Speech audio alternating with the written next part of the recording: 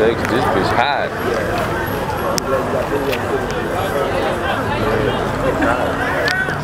Oh yeah, this going on my next DVD.